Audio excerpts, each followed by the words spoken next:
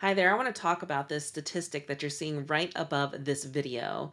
In this survey, people were asked, has your organizational culture improved since the beginning of the pandemic? And according to the survey, only 14% of the working Americans said yes.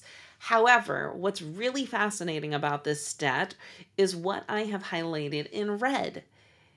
What I've highlighted in red is essentially the gap there 14% of working Americans said yes, but 72% of executives said yes.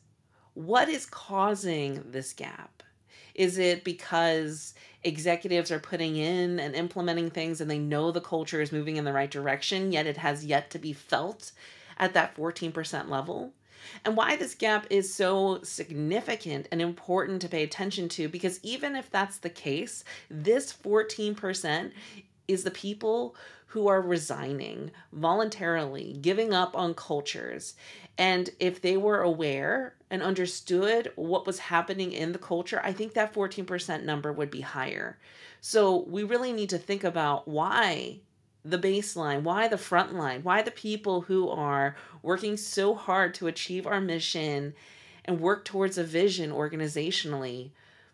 Why such a small number think that we are working to improve our culture during a time where so many things have been brought forward as needing to change?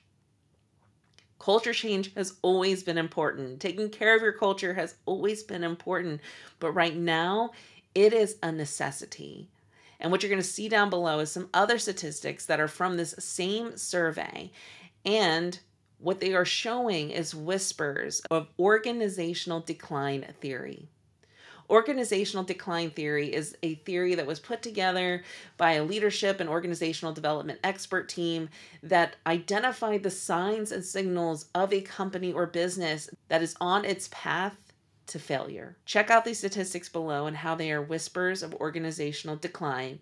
And I look forward to talking to you more and hearing about your organization and your culture. And let's start taking care of it. Let's start transforming it. And let's make sure that more than 14% know that you're working to take care of them. Because our people and our organizations are everything.